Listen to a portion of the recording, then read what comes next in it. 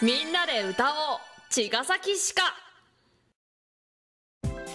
今回の「みんなで歌おう。茅ヶ崎歯科」のコーナーはこの春茅ヶ崎市役所に採用となった職員で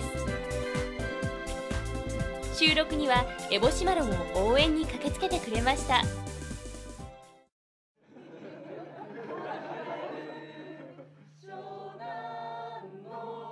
まず代表して4人の新人職員から市民の皆様にご挨拶。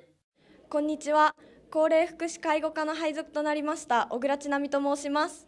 市民の方々の笑顔がもっと輝くように努力を惜しまず全力で頑張ります。よろしくお願いいたします。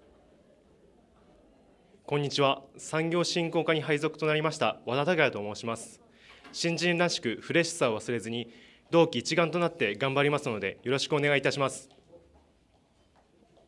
こんにちは。資産税課に配属になりました。栗山と申します。大好きな茅ヶ崎に早く貢献できるよう一日一日大切に努力します。よろしくお願いします。下水道河川管理課に配属になりました。首藤です。市民の皆さんの安全を守るため尽力したいと思います。よろしくお願いします。それではよろしくお願いします